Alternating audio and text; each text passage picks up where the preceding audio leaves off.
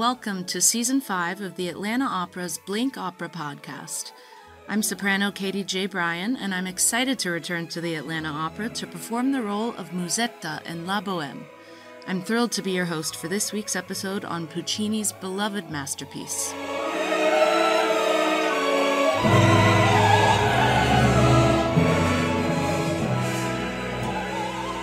The genius of La Boheme is its ability to resonate with audiences through the ages as it explores universal themes of love, poverty, and sacrifice.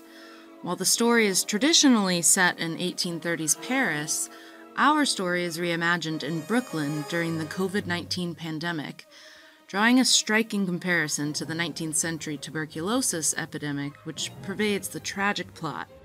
I actually debuted the role of Musetta in December of 2019, mere weeks before the pandemic that shut down the world, and precisely the start of our reimagined plot.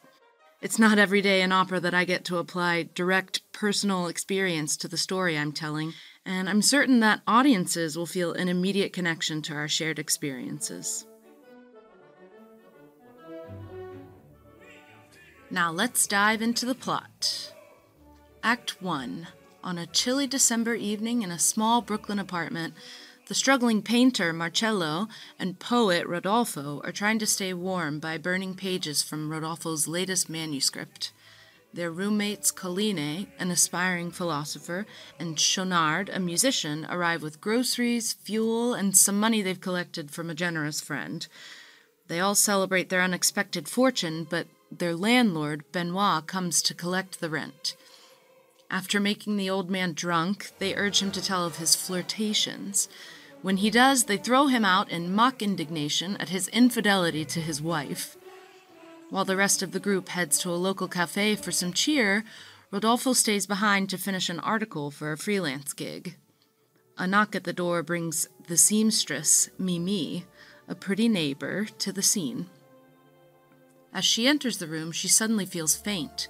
Rodolfo gives her a sip of wine, then helps her to the door and relights her candle.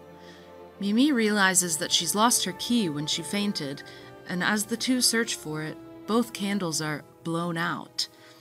Rodolfo finds the key and slips it into his pocket. In the moonlight, he takes her hand and they tell each other about their lives, hopes, and dreams. The scene ends with a glorious duet, and the two leaving arm in arm, now quite in love, to join the Bohemians at the cafe.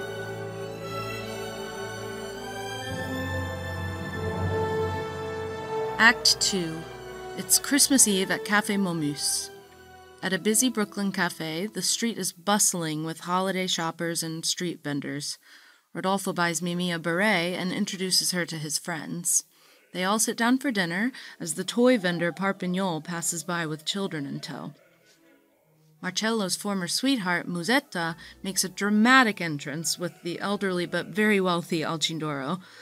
The ensuing tumult reaches its peak when, after many attempts to gain Marcello's attention, Musetta loudly sings the praises of her own popularity.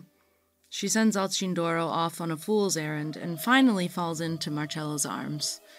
Soldiers march by the cafe, and as the Bohemians fall in behind, the returning Alcindoro is presented with the check.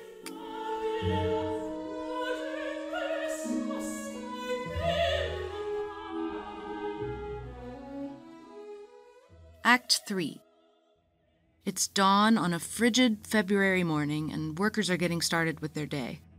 The world is starting to feel the effects of the COVID 19 pandemic. Late guests who've partied through the night are heard at a tavern. Cold and ill, Mimi arrives and searches for Marcello, who now lives with Musetta.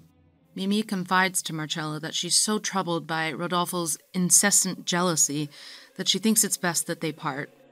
Rodolfo, who's been holed up in a local bar, emerges and confesses to Marcello that he wants to end his relationship with Mimi, not because of her behavior, but because he fears his financial struggles are worsening her health. As Mimi overhears, she steps forward to say goodbye to Rodolfo in Addio senza rancor, which means goodbye without bitterness. The scene unfolds with Mimi and Rodolfo reminiscing about their happier times while Marcello and Musetta argue loudly in the background, reflecting the broader sense of personal and social turmoil.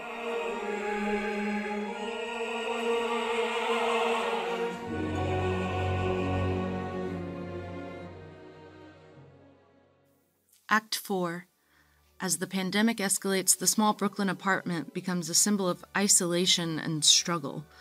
Rodolfo and Marcello are alone, having broken up with their partners and facing the loneliness exacerbated by social distancing.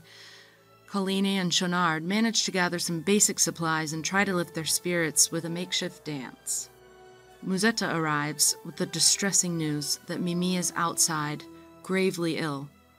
Rodolfo rushes to help her as Musetta reveals that Mimi requested to be with Rodolfo in her final moments.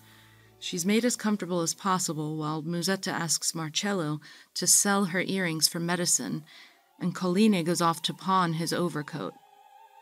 Left alone, Mimi and Rodolfo recall their meeting and their first happy days, but she's seized with violent coughing.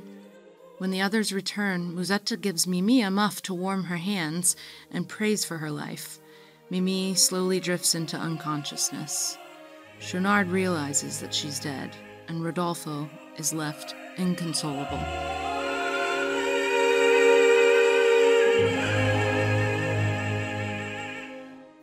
I'm soprano Katie J. Bryan. Thank you for joining me on this week's episode of the Atlanta Opera podcast, Blink Opera. If you enjoyed learning more about La Boheme, please rate and review this podcast on Apple Podcasts. It's a great way for more people like you to find out about our content. And don't forget to follow the Atlanta Opera Podcast for more great episodes.